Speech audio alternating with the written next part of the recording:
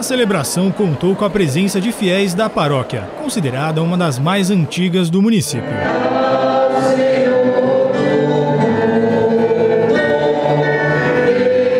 A cerimônia foi presidida pelo bispo Dom José Lanza Neto, maior autoridade religiosa da Igreja Católica na região. Um momento de alegria para a comunidade da paróquia de São Sebastião. É muito importante, além de estarmos celebrando os 70 anos da paróquia, nós vamos fazer também a dedicação da nossa Igreja Matriz São Sebastião, a dedicação do altar.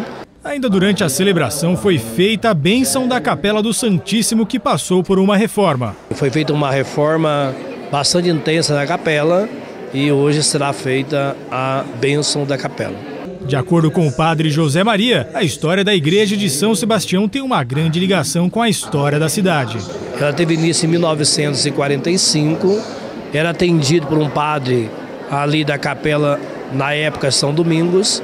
Depois, em 46, os padres obratos de Maria Imaculada assumiram o trabalho aqui na paróquia e desenvolveram muitas atividades, dentre elas escola, creche, catequese, formação é, de adulto.